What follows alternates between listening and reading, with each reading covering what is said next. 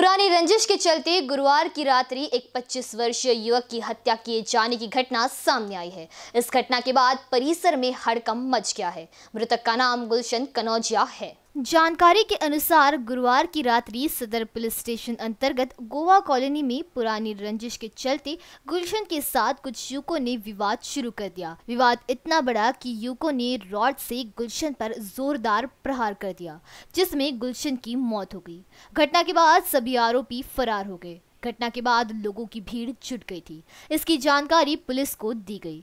Police जानकारी मिलते ही मौके पर पहुँची। हत्या की घटना को दो से तीन युवकों द्वारा अंजाम दिया गया है। इस संबंध में पुलिस निरीक्षक बंसोर ने कहा कि पुलिस ने आरोपियों की खोज शुरू कर दी है। शीघ्र उन्हें गिरफ़्तार किया जाएगा। दिनांक तीन डिसेंबर दोन रोजी सकाळी अकरा वाजताच्या सुमारास धोबेपुऱ्यामध्ये अक्षय फुलसंगी.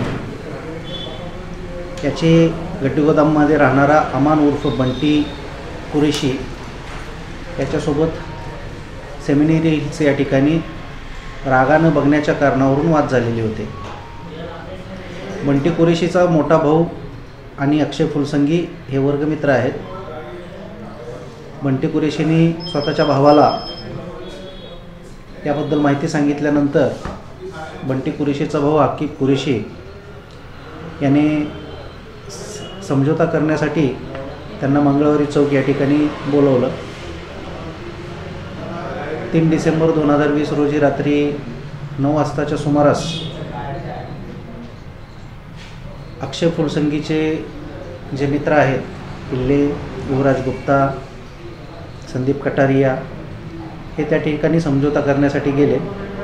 परंतु त्याही ठिकाणी त्यांच्यामध्ये वाद झाला. त्यानंतर हे पिल्ले जो आहे हा पिल्ले सदरमध्ये टुटा बगीचा या ठिकाणी आला. त्यांनी त्यांच्या मित्राला ही बाब सांगितली. त्यावेळेस त्यांचे मित्र म्हटले की भांडण वाढवू नका आपण त्यांना समजवण्यासाठी जाऊ. ते कुठं आहेत याच्याबद्दल त्यांनी माहिती काढली असता ते गोवा कॉलनीमध्ये असल्याबाबत त्यांना माहिती मिळाली. म्हणून पिल्ले अक्षय फुलसंगी त्याच्यानंतर रोहित कनोजिया त्यानंतर त्याचा भाऊ गुलशन कनोजिया त्यांचे साथीदार हे गोवा कॉलनीमध्ये जात असतानाच आरोपीनामे करण मडावी अंशुल सिंग सोहेल अली हे त्यांना गोवा कॉलनीमध्ये जाताना दिसले.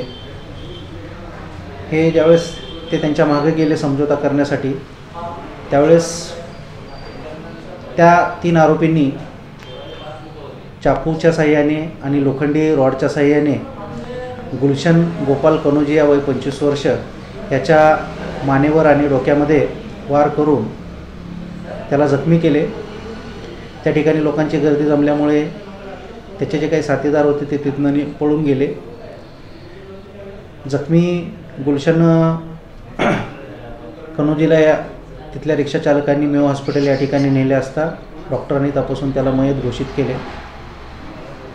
सदर प्रकरणाबाबत सदर पोलीस या पोलीस स्टेशन या ठिकाणी रोहित कनोजिया याच्या तक्रारीवरून खुनाचा गुन्हा दाखल करण्यात आलेला आहे. यातील आरोपींचा पोलीस शोध घेत आहे आणि तपास चालू आहे.